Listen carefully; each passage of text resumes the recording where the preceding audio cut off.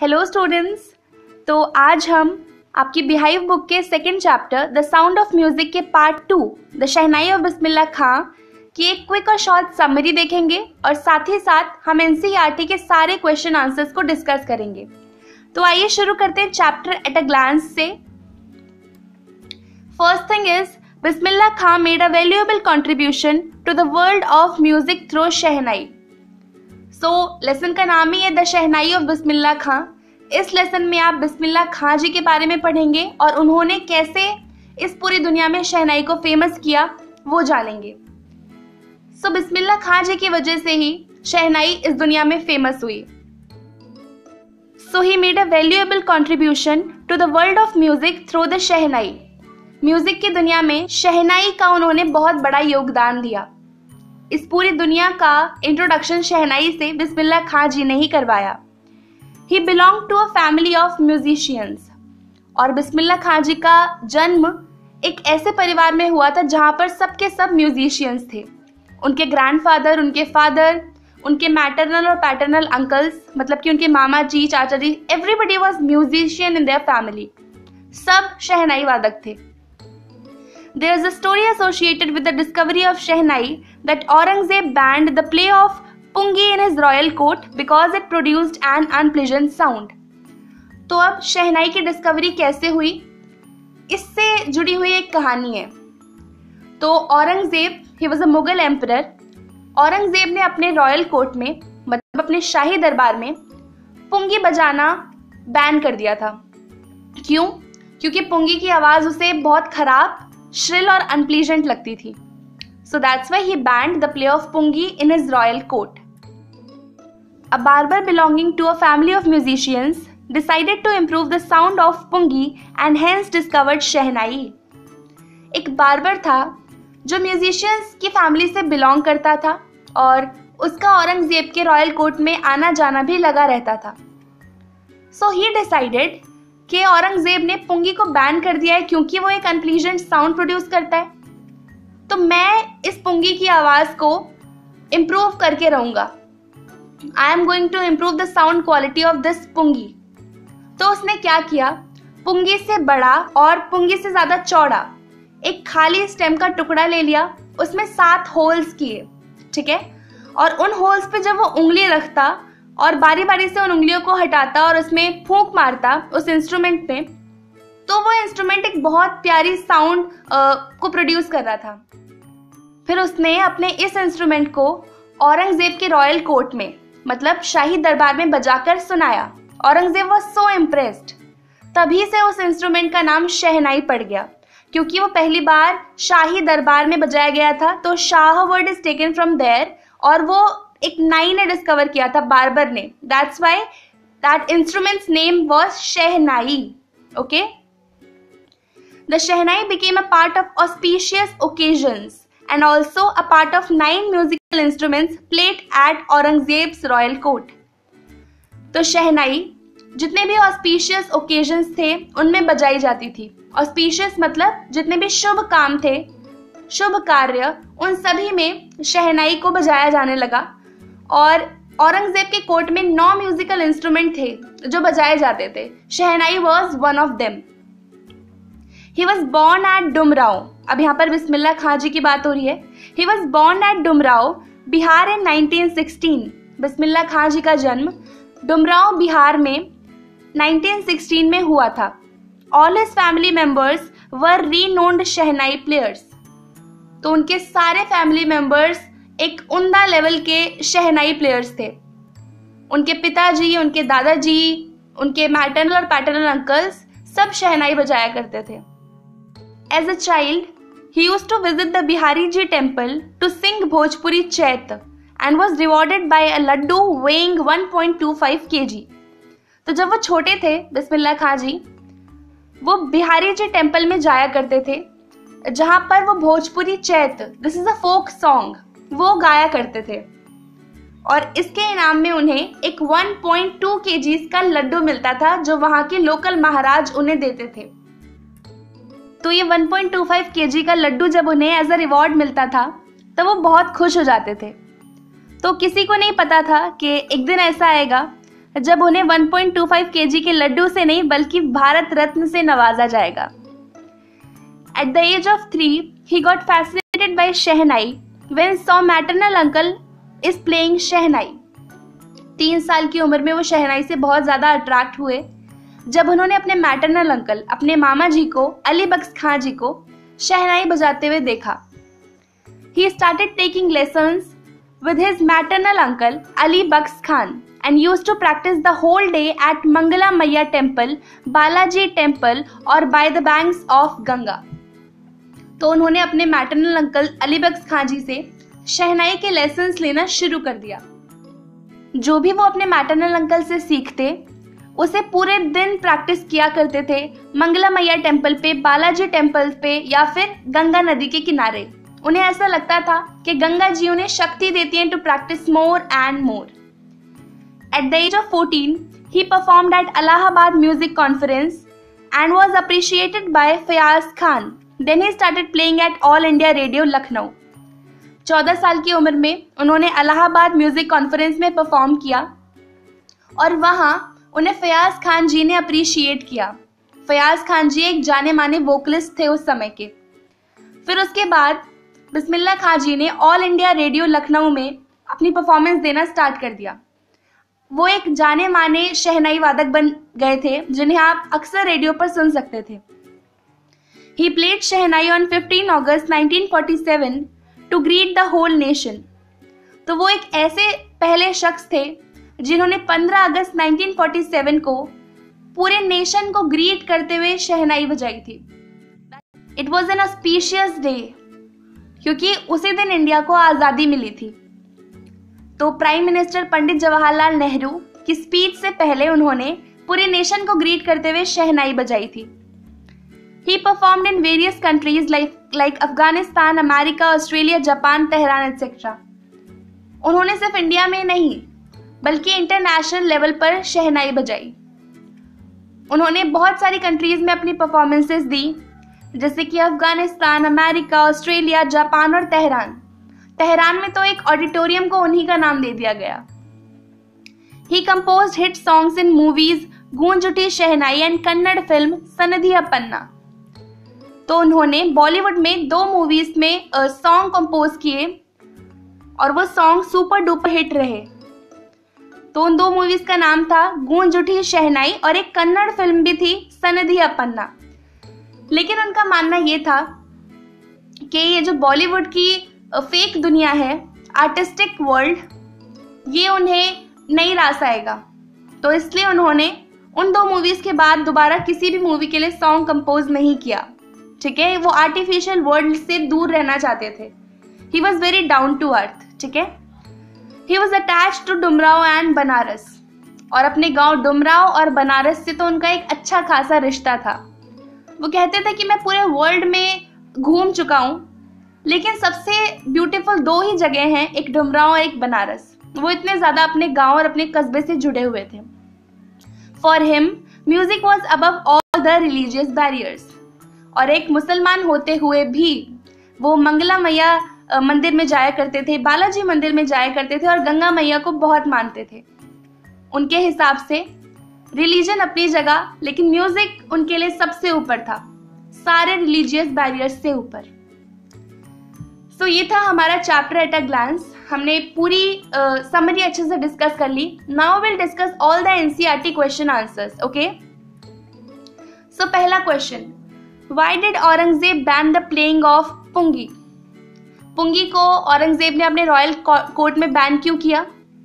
क्योंकि it use to make unpleasant and shrill sound okay so मैंने लिखा है Aurangzeb dislike the sound produce by the pungi. तो औरंगज़ेब को पुंगी का साउंड बिल्कुल पसंद नहीं था। It was considered to be a noise maker as it was shrill and unpleasant तो पुंगी को एक सिर्फ़ शोर मचाने वाला इंस्ट्रूमेंट समझा जाने लगा, क्योंकि वो जो आवाज़ प्रोड्यूस करता था, वो बहुत ही लाउड होती थी श्रिल होती थी और कानों में चुभती थी। ठीक है? So he banned playing of pungi in his royal court और इसी वजह से उसने अपने शाही दरबार में पुंगी को बैन कर दिया। समझ आ गया? Next question how is a shehnai different from a pungi तो शहनाई और पुंगी कैसे अलग है? पुंगी एक खराब अनप्लीजेंट श्रिल आवाज़ प्रोड्यूस करती थी जबकि शहनाई एक प्लीजेंट आवाज़ प्रोड्यूस करती थी। पुंगी शहनाई के कंपैरिजन में पतली थी और छोटी भी थी। सो so, यही सब लिखना है हमने इस आंसर में। Although the shehnai is also a reeded musical instrument like the pungi it differs in shape size and the quality of sound produced by it देखिए रिडीड का मतलब होता है एक लकड़ी के टुकड़े से, जो कि हॉलो है अंदर से, एक हॉलो लकड़ी के टुकड़े से बनने वाला instrument is called reeded musical instrument तो पुंगी भी लकड़ी के टुकड़े से बनता था और शहनाई भी एक हॉलो लकड़ी के टुकड़े से बनता था, ठीक है? So although the shehnai is also a reeded musical instrument like pungi it differs in shape size and the quality of sound produced by it उन दोनों में साइज़ का डिफरेंस था शेप का डिफरेंस था और क्वालिटी ऑफ़ साउंड का भी डिफरेंस था। शहनाई एक प्लीजेंट साउंड प्रोड्यूस करता था, जबकि पुंगी एक अनप्लीजेंट और श्रिल साउंड प्रोड्यूस करता था। It was made with a hollow stem which was longer and broader than the pungi and had seven holes on it. तो शहनाई को पुंगी के कंपैरिजन में एक लंबी और चौड़ी स्टेम से बनाया गया था। और उसके ऊपर सात होल्स किए गए थे। The sound produce by the shehnai was soft and melodious in contrast to the shrill noise made by the pungi तो शहनाई एक बहुत सॉफ्ट और मेलोडियस साउंड को प्रोड्यूस करती थी, जबकि पुंगी अनप्लेजेंट और श्रिल साउंड को प्रोड्यूस करती थी। So that was the difference between the two now will discuss the third question where was the shehnai played traditionally how did Bismillah Khan change this तो पहले शहनाई कहाँ पर बजाई जाती थी? पहले शहनाई सिर्फ़ रॉयल कोर्ट्स में या फिर किसी ऑस्पिशियस ओकेजन्स में मैरिजेस में, पूजाओं में बजाई जाती थी? लेकिन बिस्मिल्ला खान जी इसको इंटरनेशनल लेवल तक लेकर गए थे okay so traditionally the shehnai was played at royal court as a part of traditional collection of musical instrument called naubat. तो वो जो औरंगज़ेब के कोर्ट में नौ म्यूजिकल इंस्ट्रूमेंट्स थे उनका नाम था नौबत ठीक है? और पहले ये शहनाई सिर्फ़ रॉयल कोर्ट्स में बजाई जाती थी। And in all auspicious occasions and auspicious places like temples and at weddings तो शहनाई सिर्फ़ शुभ कार्यों के लिए बजाई जाती थी। मैरिजेस uh, में marriage is also an auspicious occasion या फिर कोई पूजा हो गई, उसमें शहनाई का उपयोग किया जाता था। Bismillah Khan invented new ragas with shehnai and thus brought it on the stage among the classical musical instruments. तो बिस्मिल्ला खाजी ने बहुत सारे राग को इन्वेंट किया था। He was the first one who brought shehnai on the stage तो वो पहले एकमात्र ऐसे शख्स थे जिन्होंने शहनाई को स्टेज पर रिप्रेजेंट किया। तो उन्हीं की वजह से क्लासिकल म्यूज़िक इंस्ट्रूमेंट्स में शहनाई भी शामिल हो गई ठीक है So, this was our third question. Now we'll discuss the fourth one. When and how did Bismillah Khan get his big break? Big break मतलब उनकी लाइफ का जो टर्निंग पॉइंट था वो क्या था उनकी लाइफ का टर्निंग पॉइंट जब उन्होंने ऑल इंडिया रेडियो लखनऊ को ज्वाइन किया, क्योंकि उसी के बाद वो एक जाने माने शहनाई वादक बने थे सब लोग उन्हें जानने लगे थे, ठीक है? Bismillah Khan, got his big break, when in 1938 the All India Radio opened its station at Lucknow. तो 1938 में, जब ऑल इंडिया रेडियो ने अपना एक स्टेशन लखनऊ पर भी खोल दिया that point was his life turning point उन्होंने ऑल इंडिया रेडियो लखनऊ को ज्वाइन किया और वहाँ पर अपनी परफॉर्मेंस देना स्टार्ट कर दिया। He played shehnai from the radio station regularly and his music became popular through it तो वो regularly All India Radio Lucknow में अपनी शहनाई बजाने लगे।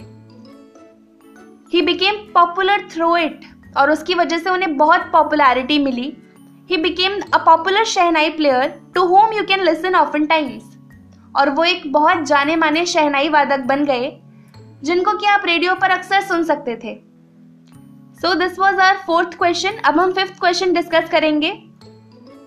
Where did Bismillah Khan play the shehnai on fifteen August 1947 why was the event historic तो 15 August 1947 को बिस्मिल्ला खां जी ने कहाँ पर शहनाई बजाई थी? उन्होंने रेड फोर्ट में पंडित जवाहरलाल नेहरू जी के सामने पूरे नेशन को ग्रीट करते हुए शहनाई बजाई थी. Why was that event historic वो इवेंट हिस्टोरिक क्यों था? क्योंकि यार इंडिया को फ्रीडम मिल रही थी और पहली बार किसी इंसान ने पूरे नेशन को ग्रीट करते हुए शहनाई बजाई। तो हिस्टोरिक तो मोमेंट होगा ही ना? सो so, मैंने लिखा है यहाँ पर on fifteen August 1947 Bismillah Khan played the shehnai from the Red Fort and greeted the entire country तो 15 अगस्त 1947 को बिस्मिल्ला खां जी ने रेड फोर्ट से शहनाई बजाई और पूरे नेशन को ग्रीट किया। The event was historic as it was the day when India gained independence from the British rule वो दिन हिस्टोरिक इसलिए था, क्योंकि उसी दिन इंडिया को इंडिपेंडेंस मिली थी ब्रिटिश रूल से। Bismillah's performance was followed by the historic speech, Tryst with Destiny, given by India's first Prime Minister Pandit Jawaharlal Nehru तो बिस्मिल्ला खां जी की परफॉर्मेंस खत्म होने के बाद पंडित जवाहरलाल नेहरू जी, जो कि इंडिया के फ़र्स्ट प्राइम मिनिस्टर थे, उन्होंने अपनी famous speech tryst with destiny सबके सामने कहकर सुनाई। So that's why it was a historic movement okay now will discuss the six question why did Bismillah Khan refuse to start a shehnai school in USA उन्होंने USA में शहनाई school शुरू करने से क्यों मना कर दिया? क्योंकि वो अपने विलेज डुमराव और बनारस से बहुत ज़्यादा जुड़े हुए थे, इसलिए। Bismillah Khan was attached to the temples of Banaras and the holy river Ganga तो बनारस के मंदिरों से और गंगा जी से वो कुछ ज़्यादा ही जुड़े हुए थे।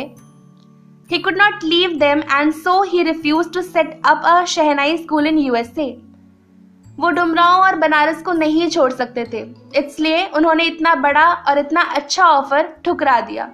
उन्होंने यूएसए में शहनाई स्कूल सेटअप करने से अपने स्टूडेंट को मना कर दिया।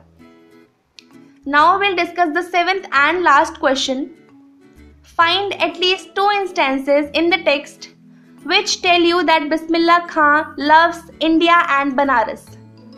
तो पूरे लेसन में से आपको दो इंस्टेंसेस ऐसे बताने हैं, जिनको पढ़कर आपको लगा कि बिस्मिल्ला खां जी, बनारस और इंडिया से बहुत ज़्यादा प्यार करते हैं। तो पहला इंसिडेंस तो यही कि उन्होंने यूएसए जाने से मना कर दिया। यूएसए में स्कूल सेटअप करने से मना कर दिया। और दूसरा ये, जब उन्हें भारत रत्न से नवाजा जा रहा था, तब उन्होंने कहा कि इंडिया म्यूज़िक उसकी पहचान है। हम सभी को अपने अपने बच्चों को म्यूज़िक सिखाना चाहिए। So I have written here Bismillah's love for India and Banaras are shown by the fact that he refused to set up a shehnai school in USA तो कैसे पता चलता है? हमें बिस्मिल्ला खां जी को इंडिया और बनारस से बहुत प्यार था। सबसे पहला इंस्टेंस यही कि उन्होंने यूएसए में स्कूल सेटअप करने से मना कर दिया था। As he could not leave Banaras and river Ganga, क्योंकि वो बनारस को और रिवर गंगा को नहीं छोड़ सकते थे। Secondly when he was honoured with the Bharat Ratna he declared that Indian classical music was India's richest heritage तो जब उन्हें भारत रत्न से नवाजा जा रहा था तो उन्होंने कहा that India's classical music was India's richest heritage मतलब कि हमारा क्लासिकल म्यूज़िक ही हमारी पहचान है तो इस कल्चर को खोने ना दें अपने अपने बच्चों को क्लासिकल म्यूज़िक ज़रूर सिखाएँ। सो so, हमने पूरे चैप्टर को अच्छे से डिस्कस कर लिया। इसके सारे क्वेश्चन आंसर्स देख लिए। इसी के साथ ये वीडियो यहाँ पर खत्म होता है। आई होप आपको वीडियो पसंद आई हो। अगर आपको वीडियो अच्छी लगी तो वीडियो को लाइक कर दें चैनल को सब्सक्राइब कर लें, और बेल आइकन दबाना ना भूलें, ताकि आने वाली सभी वीडियोस की अपडेट आप तक पहुँचती रहे। तो आपसे मिलते हैं आगे आने वाले वीडियोस में। तब तक के लिए bye take care have a great day